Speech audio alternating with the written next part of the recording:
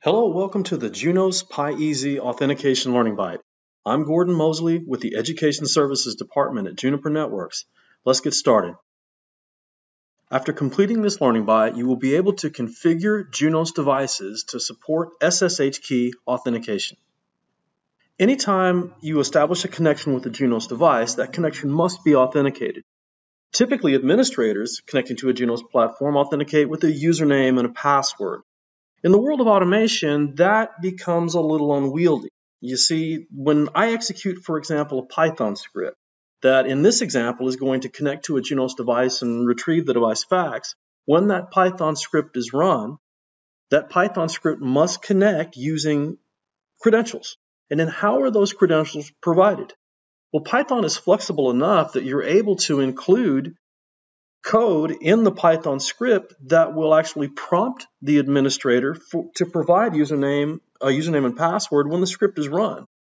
But that really takes a little bit of flexibility out of your automation because a lot of times this script would be scheduled to run maybe late at night and retrieve data without anybody there to provide credentials. And without the credentials, the script would fail to run. Now you can include a username or password in the script and that's provided when the script is run. But as you can imagine, storing those types of credentials in a script is not very secure. Anybody with access to the script would then have access to administrative credentials. And, and so the, the most convenient and the most secure way to authenticate connections, automated connections, or even administrator connections is using SSH public key authentication. And so let's look at how to set this up. The first part of the process to use SSH public key authentication to connect to Junos devices is to generate an SSH key pair. And this is done using the SSH keygen utility on a Unix workstation. Once you run the utility, you're prompted to provide a, location for the key pair and an optional passphrase to protect it. And it actually is considered a best practice to generate a passphrase that would then be used to secure the key pair that's going to be generated. And the key pair is generated really quickly and it's stored on the local administrator workstation. And now we need to copy the public key portion. It's a public private key pair. Once the key pair has been generated, the public key needs to be copied to the Junos platforms that you would like to administer. And this is done using the SCP command shown on this screen. And this is copied to a target device the 172.25.11.1 device and it's placed in the temp directory on that remote device. The final step in the process is to configure an administrator account on the Junos platform and configuring that account to support using public key authentication.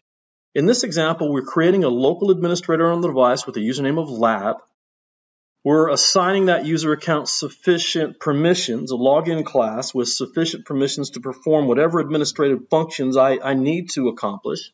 And then I'm allowing that account to authenticate using the public key that we secure copied to this local device. And then I can commit the changes. Now I'm going to connect to uh, a VMX Junos platform and we're going to walk through these steps and we're going to see the kind of before and after effects. How do I authenticate before I have public key authentication? And how can I public uh, authenticate after I have it configured? I do not have currently any key pair generated. So I've already entered these commands to make them a little quicker for this learning byte. Uh, here's the example command we saw on the slide. I want to run the SSH keygen utility. Uh, I want to generate an RSA key pair and it will ask me where would you like to store the key. I'm going to store it in my home directory. It's called id.rsa. That's the uh, where I want to save. I can enter an optional passphrase to secure the key, and that is considered a best practice for time purposes. I'm just going to leave it blank, and now my SSH key pair is generated. I can I can look in the .ssh folder in my home directory, and I can see the public and private key pair stored there. Now, what I want to do is I need to copy the public key using secure copy to the VMX device, and I want to store it in the temp folder on that VMX device. It's going to prompt me to authenticate, right? Remember, every connection requires authentication, and now the key pair, or the public key, excuse me, has been copied to the temp folder. So let's connect to that device and complete the configuration. And I'll do that by secure shelling to the 172.25.11.1 VMX platform. And again, I haven't completed the configuration, so I'm prompted to log in, providing a username and password. And that doesn't help me automate. That's my problem. So let's enter configuration mode. I already have the lab user account created and it's configured to authenticate using a username and password. So let's add support. We use the set authentication load key file. And so I want to load and associate the public key we copied earlier to the device with this user account. And the, the file was stored in the temp folder on this device. And here's the name of the public key. So now when I show the properties of this account, I can see the SSH RSA public key you know, associated with this lab user. So what I want to do now is I want to exit, you know, close. Whoops, I forgot to uh, I forgot to commit my changes. Let me let me commit those changes, right? So they'll take effect. And then what I want to do is exit my connection with the VMX device. And let's connect back again. I want to secure shelling again. Let's see if I'm prompted for any credentials, right? I authenticated by default using the SSH, you know, public key to that device. I'm not even prompted. And now any Python scripts, for example, I run that might connect to a Junos platform can authenticate using that same public key. This eliminates the need for me to store credentials in my Python scripts or provide credentials when the Python scripts are run.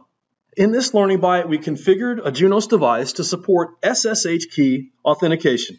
Thank you very much. Visit the Juniper Education Services website to learn more about courses. View our full range of classroom, online, and e-learning courses. Learning paths, industry segment and technology specific training paths.